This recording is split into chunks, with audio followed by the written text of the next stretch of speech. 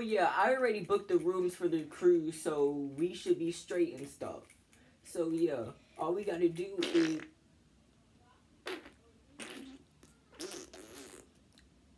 What was that? Did I- you fart? No. Because I surely didn't. Well, who what, who farted it? It, it obviously. You know what?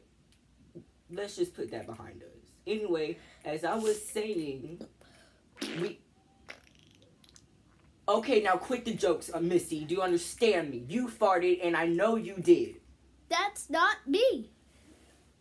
It's not me, and we're the only two people in this house right now. Max is getting some Chinese food, and Dinosaur is working at his job. But But no, no, uh uh no. You farted, and you know you did. Just say excuse me. But that wasn't me. Look at it. No poop on my beautiful dress. So what do you think? You don't have to poop to fart, Missy. Understand, Tina? Yes. You farted. You. I'm telling you nicely. You farted, and you just need to say excuse me. No. You are the one that farted because you are a boy. Girls do quiet farts. Ex- so you're calling boys dirty now? So every single boy in the world is dirty. Every single boy puppet in the puppet universe is dirty.